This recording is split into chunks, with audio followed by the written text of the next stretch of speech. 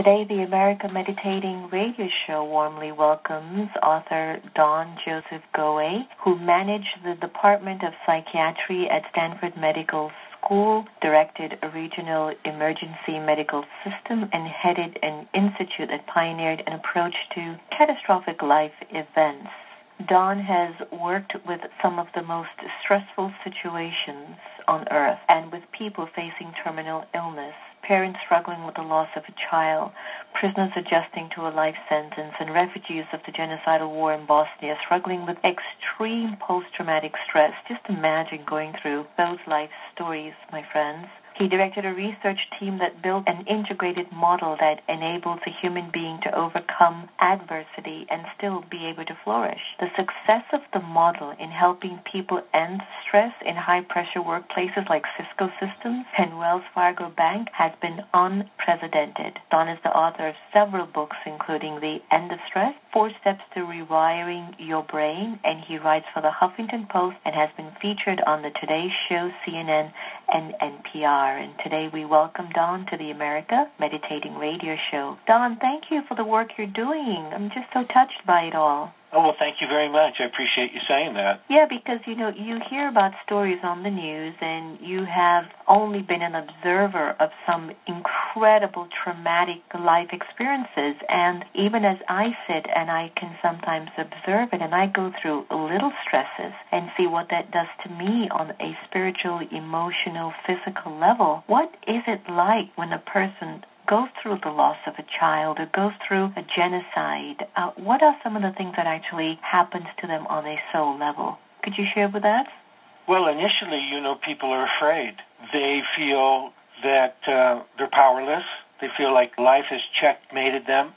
They're, you know, trying to rally a feeling of faith to face the adversity that's in front of them. And they struggle because the fear overwhelms them. You know, it's sort of every time they take a step forward, it seems like the fear pushes them back five steps. And what gradually happens is, if they get the right support, you know, loving support, a support that basically begins to elevate their consciousness, they begin to learn how to let go of fear. They begin to understand that in terms, you know, they, they certainly have a big problem to face, but the trouble underneath the problem is their fear. And when they get that and they begin to practice what what helps them successfully disempower that fear, quiet it down. They begin to come into a, a place of consciousness that empowers them, that empowers them in the moment, here and now, to choose their experience. And you know, the experience that naturally arises when you let go of fear is peace. It begins mm-hmm. initially with a sense of relief because fear is so painful, but then that relief turns into a you know a state of calm that right. as we surrender to it expands and becomes this experience of peace. And in that experience of peace, all of the power of our brain, particularly higher brain function, begins to come online. It's prerequisite for the intelligent producing neural networks in our brain. And as that comes on, they begin to find ways of relating to their situation. They begin to see solutions where all they were was trapped in problems and, and their life mm-hmm. opens up, their heart opens up, they begin to be empowered by love. And at the end of that process, they often say that they wouldn't go back and trade their situation, that particularly people that I've worked with who are life threat, people with AIDS, with cancer, they say they wouldn't go back and exchange their sick body for a healthy body if it meant they were going to learn, lose this spiritual expansion that's happened for them. And then, of course, you know, in medical science, we know that spiritual expansion creates what's called the mind body connection, actually promotes, you know, the biochemical environment that we call healing. Mm-hmm. You know, Marilu Henner once said, being in control of your life and having realistic expectations about your day to day challenges are the keys to stress management, which is perhaps the most important ingredient to living a happy, healthy, and a rewarding life. And one of the things that we have observed, I don't think there's one single human being on the planet that hasn't struggled with some element of fear or even of stress. And years ago, you experienced what you called a perfect storm of stress. How did you overcome that season, I shall say? Oh, yeah, that was 30 years ago. I lost my job, and it was a job I'd spent you know, most of my young adult years firing toward. So it was quite a blow. And then nine days later, I was diagnosed with a brain tumor, and I was warned by the specialist to prepare myself for some serious neurological disabilities, you know, that were serious enough that they might mean that I would never work again. And I was married at the time with uh, four small children, so it was a devastating blow. And I had to wait six weeks for the surgery, and I spent the first two weeks terrified, abject terror. You know, every night was a dark night of the soul. I'd wake up at 3 a.m., you know, and go to the living room, stare out the window into the cold, dark night. The, night looked like a black hole that was going to suck me and my family in. You know, I was afraid to my family, and I we were going to end up homeless. And then one fateful night, about two weeks into that, I reached a point where I questioned, you know, which was worse, the dire problems that could happen out there in the future, or the abject fear that you know had been happening in me every day, all day long. And it was clear to me at that moment the fear was worse. The fear was the pain. So I tried a process that I learned from the famous American psychologist Carl Rogers back when I worked with him. I became keenly aware of each fearful thought that I was thinking and the you know, strong emotion it carried and horrible pictures it painted. I became really aware of that. I let awareness come in and show me what was going on in, you know, more vivid detail. And then I practiced not believing any of the thoughts that I was thinking. And my ego would come in and argue with me. It would say, you know, you can not believe this thought, but at the end of the day, you know, you're, you're, you're still in horrible trouble. And I w- would practice not believing that thought. Any fearful thought that came up, I wouldn't believe. And then the, part of the process is see what does your experience become when you don't believe a fearful thought. And gradually, what happened, I began to calm down. You know, the way that I was just talking about a moment ago. And about a half hour later, I was at peace. I knew I was at peace because this time when I looked out the window at that cold, dark night, it, it wasn't like that. It was beautiful. And the feeling that I had as I looked at it was, I almost felt the night was sacred. And so I made the decision right then and there to approach the surgery with, with this peaceful attitude, simply by letting go of fearful thoughts in, in the way that I just described. And it worked.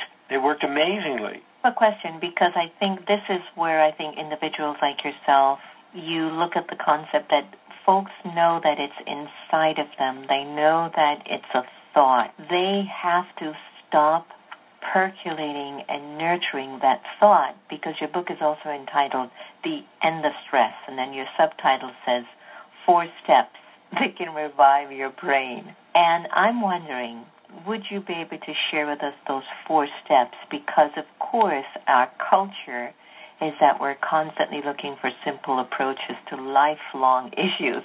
But I'd love for you to share these four steps because you did it you grappled with the stuff. It was really the dark night of the soul. But what was that moment for you that shifted the way that you were going to believe how this was supposed to turn out for you?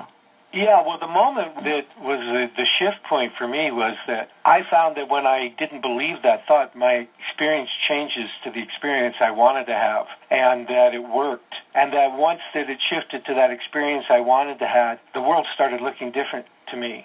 I wasn't trapped by my problem anymore. I began to see solutions, and that's that's what I wanted. And then what began to happen is my attitude towards the whole thing changed, and I was able to rally support to me, support from my family, support from my friends, and and I discovered that I wasn't powerless when it came to fear and distress. And um, then when I studied the neuroscience, you know, the really good news that came out of neuroscience about 15 years ago was that you can rewire your brain. If you if fear and stress, anxiety or problems in your life is because genetics and a painful past wired your brain for that and you can rewire it. And it turns out the processes that rewire our brain are very simple. And they are processes that develop and strengthen our abilities to be at peace with whatever's happening in the moment. And there are 12 tools in my book that develop that skill of busting stress reactions. And, you know, your, what happens is your brain cells create new networks when you practice a new skill. The point where the networks connect are called synapses, and the synapses actually get strengthened the more you use them. And especially if you use that synapse in a pattern fashion, like in a practice like in a meditation practice, for example, that synapse gets even stronger. And then you don't need much effort to activate that stress busting, that fear busting pattern. It happens on its own. You know, your brain busts that stress, that fear, at the point it raises its ugly head. That's what I mean by the title of my book, The End of Stress.